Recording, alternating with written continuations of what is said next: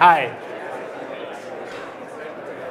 I'm Anushrut. I'm the product lead for PromptQL. Uh, I don't work at Amazon. Uh, how many of you have been building AI assistants or AI agents? Uh, have you have built one AI assistant or agent in the past one year? A bunch of you. That's awesome. Uh, how many of you are familiar with uh, terms like retrieval augmented generation, RAG, or uh, tool calling, function calling? Everyone. Awesome. So, AI assistants on data do not work. It's my claim.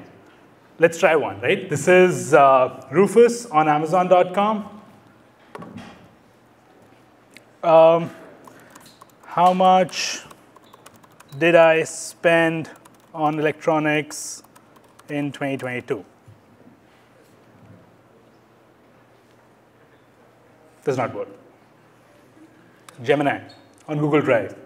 This is my personal drive. This is a family finance file which my brother and I share. Uh, my brother's name is Abhinav, so I'm going to ask a question.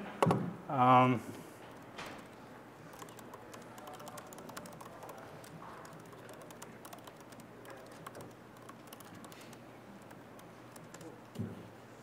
I know he did. Could not find any relevant files. Okay. One last example Einstein on Salesforce. This is our own Salesforce data at Hasura. We asked it a question what's the average length of our uh, sales cycle this quarter? Uh, it says I can't answer that question. So I try again, and it says, okay, 2.21 days. No enterprise sales cycle is ever 2.21 days. okay, so I asked it, can you explain how you got this number? And it says, I took the average of the uh, data in the stage 1 to stage 4 age length field. Makes sense? But we have seven stages, not four. Uh, even for an uh, opportunity to go from stage one to stage four, it takes way longer. It, it takes uh, longer for them to reply to the first email. So uh, AI assistants on real data just don't work. So let's actually look at an AI assistant which actually works on real data. Do you work? It works. now, uh, let's start a new thread. So this assistant is a assistant we created for our customer support team. This is connected to our customers' data, connected to our product usage data, uh, product usage metrics, connected to our billing data, our finance data, and it's also connected to our ticketing system, which is Zendesk. Um, can I ask you to hold the mic? Of course. Thank you. So you can't time check me. Okay. Uh, so if I ask a question like, who are my top five customers by revenue who have at least four projects with us, um, and their average revenue per project is more than, let's make it do some math, one, five, six, seven, eight, some random number. Okay.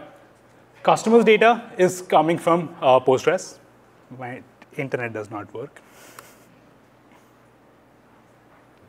Okay. Uh,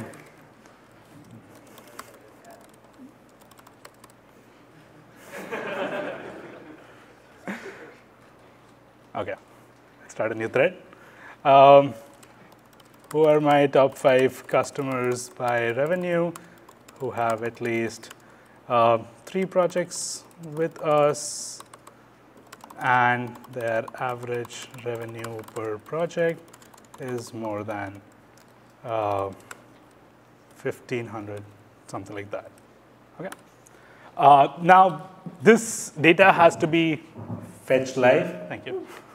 Uh, uh, this data will be fetched live from uh, BigQuery. some part of the data is in Postgres, and PromptQL will try to co- will come up with this query plan of how to answer that question. It'll, it'll look at your entire data landscape, and it'll see, okay, uh, I'll first need to calculate the revenue for each customer, which I have to do by looking at the invoices because you don't have revenue anywhere in your data. So I'll collect all the, uh, all the revenue uh, items from your revenue uh, table. Then I will group every uh, invoice per uh, customer. Then I will calculate the total revenue. I will get the project details for each customer. I will apply that filter and give you the answer. And this is exactly what PromptQL does. Executes, implements this query plan and executes that query plan and comes up with an answer. This is great. but I also want to see what are the organization ID and what are their uh, customer ID. So all I have to do is edit the query plan and be like, uh, when you are fetching the customer details, include organization ID and customer ID. So now I can just start talking to my uh, data as flexibly as I want. I can edit the query plan as, flexi as flexibly as I want, and I can be sure that PromptQL will do this accurately, repeatably, and reliably. Right? It gave me the same answer, but included the customer ID and the uh, uh, organization ID. Now, I want to join this response with my data in Zendesk, right? I want to do something like uh, how many support tickets do each of these customers have? Now, this data is in Zendesk. Plus, I don't want you to forget any of the customers, any of the customer emails, names, things like those. How do I make sure that an LLM does not hallucinate, right? What we do is, uh, with PromptQL, we do not load up all this data like a RAG system into the LLM's context and expect the LLM to work. All of this is happening in a programmatic runtime. So the first step that it does is, it gets the top customers from the previous artifact. So this memory that you see on the side is not just for you to see, but also for the LLM to see on the fly. Uh, LLM's programmatic runtime to see on the fly. Best part of PromptQL is if it messes up somewhere, if there's an execution error, it'll figure out what the issue is, like a human analyst, like, an, uh, like a human uh, engineer, and fix the error, re-implement its query plan, and uh, before you come. Uh, uh, one last thing is ability to take action. Uh, issue $500 refund to the third user's second highest revenue project. The ability to take actions, connect your APIs to your uh, uh, API to your uh, chatbots and agents, right? Connect any kind of SaaS API, custom APIs, and expect it to work on the second try. okay. While it's executing that, okay. Uh, best part about PromptQL is it asks for the human's confirmation because you can't let your AI have free reign over your data or your APIs, right? So it says that I'm about to issue $500 to Marissa. Uh, this is the project ID, this is the owner ID. And I click on approve. It goes and hits the Stripe API.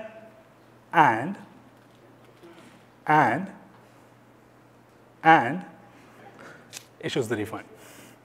Okay, uh, we have put together an in-depth benchmark uh, comparing RAG to PromptQL.